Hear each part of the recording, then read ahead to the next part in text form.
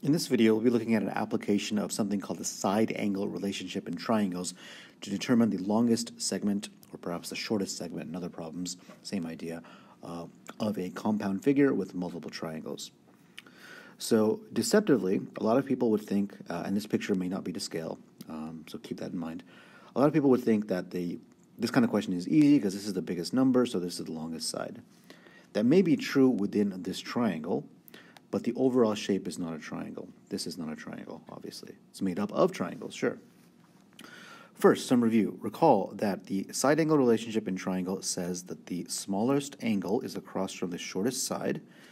Actually, that appears to be shorter over here, so this should be the smallest angle. The biggest angle should be across from the longest side. So there's a direct relationship between a side and its opposite angle, or vice versa. So let us first focus on triangle QUD. If we were to rank triangle QUD's segments, the smallest segment would be the one across from its smallest angle. So that would be segment QD, that's the least.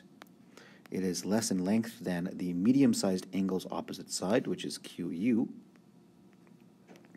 And the longest length in this red triangle is across from its biggest angle, which would be UD.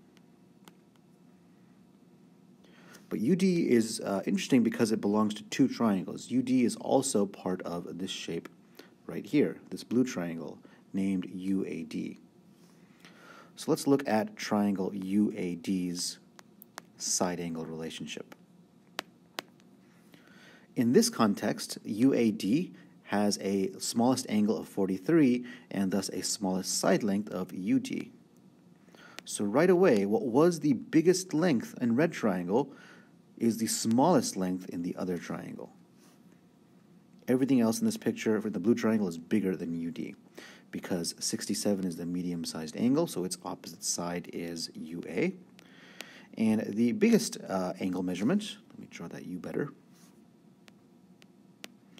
The biggest angle measurement of 70, again in the blue triangle, is across from its longest length, which is DA. So if you look at the line of reasoning here, you have some commonalities right here. UD appears twice. So we actually know how to rank the entire uh, set of lengths uh, all in one go, from least to greatest, the smallest length all the way up to the biggest length. We know that QD is the shortest, its length uh, is less than QU, and the length of UD is bigger than those. But UD also belongs to this list, which is less than UA, which is less than DA. So the longest segment in this picture is DA. Hope this helps.